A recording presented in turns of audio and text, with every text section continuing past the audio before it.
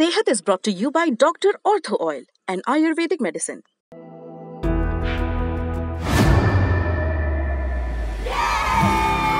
घुटना कंधा या कमर चाहे जैसा हो दर्द डॉक्टर ऑर्थो आपको देता है दर्द से पूरी आज़ादी एक भरपूर ज़िंदगी ये कोई टेम्पररी पेन किलर नहीं आयुर्वेदिक औषधि है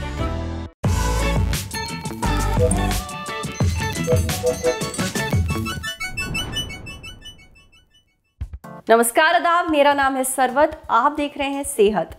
ललन टॉप का हेल्थ शो जहाँ बात होती है हमारी और आपकी हेल्थ की। पहला सेगमेंट है हालचाल। आज बात करेंगे, यंग लोगों में जोड़ों का दर्द क्यों बढ़ रहा है और इससे कैसे निपटे।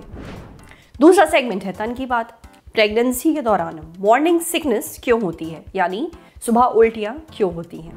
और तीसरा सेगमेंट है खुराक, यानी एक झकास सी हेल्थ टिप जैसे प्रोटीन को लेकर एक बड़ी गलत फहमी दूर कर लीजिए।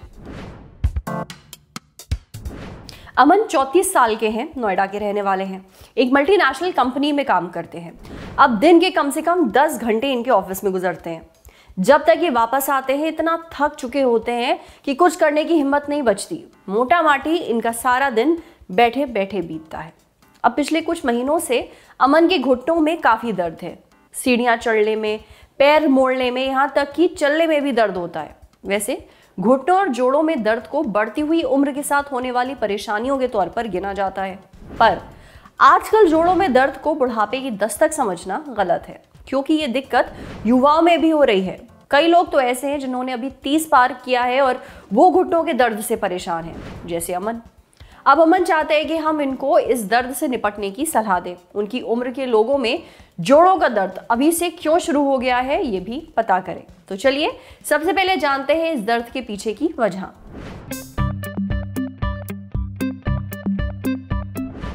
सबसे प्रमुख कारण है कसरत या फ़िज़िकल एक्टिविटी की कमी। इससे जांग की मांसपेशी, जिसे क्वाड्रिसेप्स कहते हैं, वो कमज़ोर हो जाती है और घुटनों में मामूली लचक रहती है। इससे घुटनों के अंदर कार्टिलेज और मेनिस्कस जो कि कुशन इफ़ेक्ट देती है, उनको थोड़ी थोड़ी चोट लगती रहती है।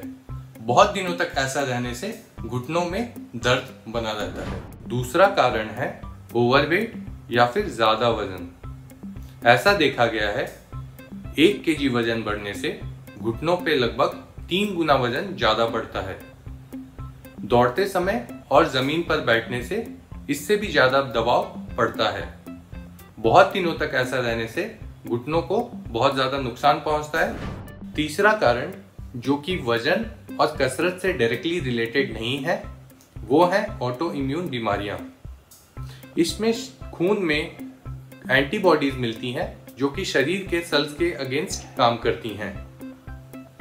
प्रमुख ऑटो इम्यून बीमारियाँ हैं रिमेटॉइड आर्थराइटिस और एंकाइलॉजिंग स्पॉन्डलाइटिस इसमें शरीर के बहुत से जोड़ों में दर्द रहती है और अकड़न बनी रह सकती है। इन कारणों के अलावा और भी कारण हो सकते हैं, जैसे कि हड्डियों में टेढ़ापन, पुरानी चोट की वजह से टेढ़ी जुड़ी हुई हड्डी इन्फेक्शन या फिर ट्यूमर। अगर जोड़ों में दर्द कार्टिलेज या मेनिस्कस की चोट की वजह से है तो आपके डॉक्टर एक्सरे और एमआरआई का सुझाव दे सकते हैं। इसके रिपोर्ट के अनुसार कुछ लोगों को दवा और एक्सरसाइज से आराम मिल सकती है और कुछ लोगों को ऑपरेशन की ज़रूरत पड़ सकती है। ये ऑपरेशन दूरबीन के द्वारा किया जाता है, जिसे हम आर्थ्रोस्कोपिक सर्जरी कहते हैं। अगर जोड़ों का दर्द ऑटो इम्यून बीमारियों की वजह से है तो आपके डॉक्टर कुछ खून की जाँच के बाद दवा शुरू करते हैं। ये दवा लंबे समय तक चलती है। अगर जोड़ों का दर्द हड्डियों में टेढ़ापन या फिर पुरानी टेढ़ी जुड़ी हुई हड्डी की वजह से है तो इसे ऑपरेशन की ज़रूरत पड़ती है। अगर जोड़ों जोड़ों में दर्द इन्फेक्शन या ट्यूमर की वजह से है तो इसे ऑपरेशन और दवा की ज़रूरत पड़ती है। सबसे पहले नियमित व्यायाम करें और अपनी डाइट को अच्छी रखें। अपनी डाइट में कैल्शियम और विटामिन डी को पर्याप्त मात्रा में लें। अपने वज़न को नियंत्रण में रखें। अगर आपकी जोड़ की दर्द चार हफ़्ते से ज़्यादा रहती है तो इसे इग्नोर ना करें और अपने डॉक्टर से मिलें। कारण और इलाज तो आपने जान लिए। अब बात करते हैं एक्सरसाइज की। एक्सरसाइज की कमी इस दर्द की एक बड़ी वजह है। अब घुटनों के दर्द से निपटने के लिए भी फिजियोथेरेपिस्ट कुछ खास तरह की एक्सरसाइजेस करवाते हैं। अब कौन सी है वो एक्सरसाइजेस ये जान लीजिए। पहली एक्सरसाइज में पेशेंट को खुद अपने घुटने को नीचे दबाना है और छोड़ देना है। इसी कसरत में अलग अलग एंगल को रख कर सेम एक्सरसाइज दोहराई जा सकती है, जिसे मल्टीपल एंगल स्टैटिक क्वाड्रिसेप्स या आइसोमेट्रिक एक्सरसाइज कहा जाता है। एक्सरसाइज के बाद टर्मिनल नी एक्सटेंशन एक्सरसाइज की जाती है, जिसमें एड़ी को ऊपर उठाकर पंजा खींचा जाता है और फिर नीचे छोड़ दिया घुटने को मोड़कर सीधा किया जाता है। इन सभी एक्सरसाइज को 10 10 से 15 बार रिपीट किया जा सकता है। दिन में दो से तीन बार।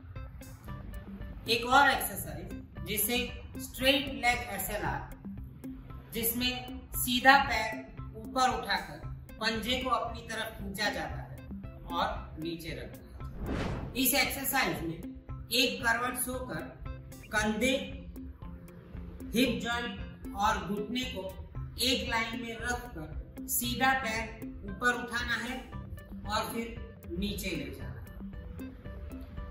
दूसरी एक्सरसाइज में उल्टा सो जाकर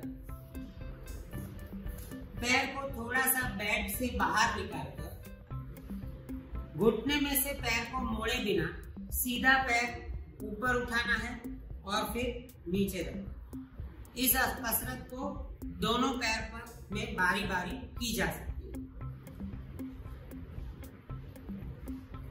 दूसरी एक्सरसाइज में घुटने में से पैर को मोड़ना है और फिर सीधा करना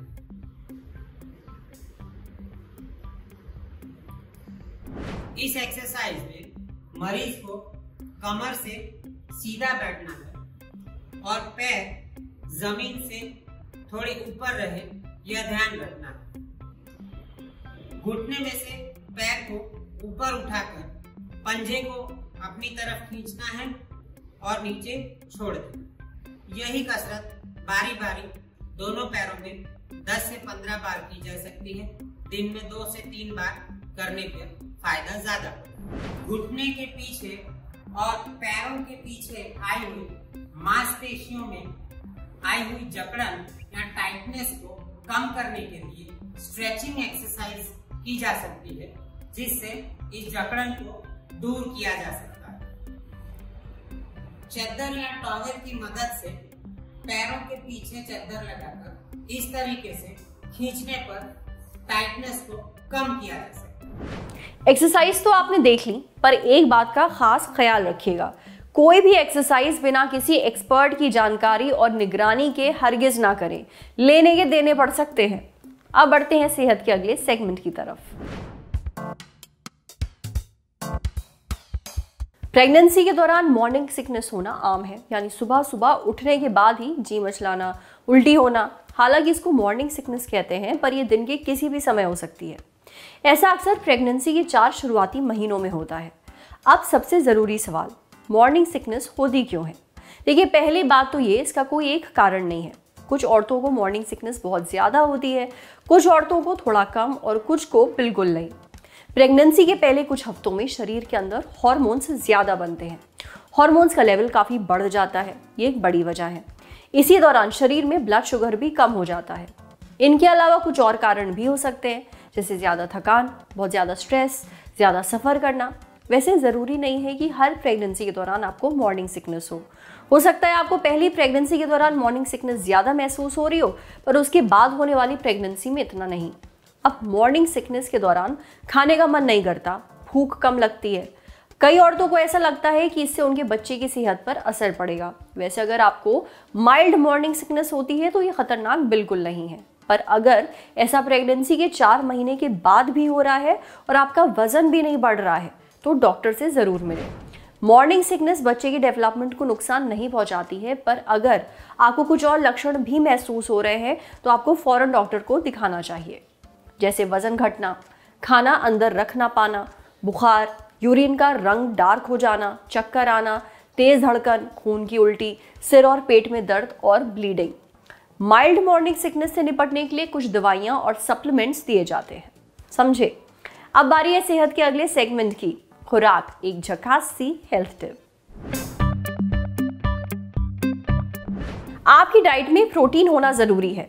पर प्रोटीन को लेकर कई गलत फहमियाँ भी फैली हुई हैं। जैसे कहा जाता है कि आप हर मील में केवल 30 ग्राम प्रोटीन ही ले सकते हैं, क्योंकि इससे ज़्यादा आपका शरीर हजम नहीं कर पाता। ये गलत है। साथ ही अगर मांसपेशियाँ बनानी है तो हर दो तीन घंटे में खाना चाहिए। पर साइंस की माने तो ये भी ठीक नहीं है। देखिए, इसका कोई सबूत नहीं है, कोई साइंटिफिक प्रूफ नहीं है। स्टडीज़ के मुताबिक आप कितनी जल्दी जल्दी प्रोटीन खा रहे हैं, उससे आपकी मांसपेशियों पर असर नहीं पड़ता है। फ़र्क पड़ता है कि आपने कितना प्रोटीन खाया है टोटल, ना कि कितने अलग अलग मील्स में वो लिया है, कितने अलग अलग मील्स में उसको बांटा है। तो अगर आप मसल्स बनाने के दौर से गुजर रहे हैं तो इस बात का खास ख्याल रखिए। आज सेहत में इतना ही। अच्छा अगर आप एक डॉक्टर है और हमसे कुछ शेयर करना चाहते हैं तो जो ईमेल आईडी इस वक्त आपको अपनी स्क्रीन पर दिख रही है, उस पर हम एक मेल भेज दीजिए। कैमरे के पीछे हमारे साथ हैं जेरी। ये वीडियो फेसबुक पर देख रहे हैं तो हमारे फेसबुक पेज को लाइक करिए। यूट्यूब पर देख रहे हैं तो हमारे चैनल को सब्सक्राइब करिए। बेल आइकन पर ज़रूर क्लिक कर दीजिए, ताकि जब भी हम कोई नया वीडियो अपलोड करें तो उसका नोटिफिकेशन आप तक सबसे पहले पहुँचे। शुक्रिया।